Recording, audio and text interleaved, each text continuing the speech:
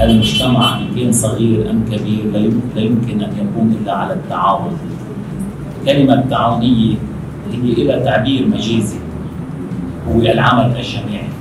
وأيضا من خلال التعاونيات إحنا بنقدر نطور أمورنا أكثر من خلال تنمية المرأة الريفية أكثر واعطائها قدرات وخبرات أكثر ومن خلال إطلاق الأسواق الشعبية آه، لتصريف المنتجات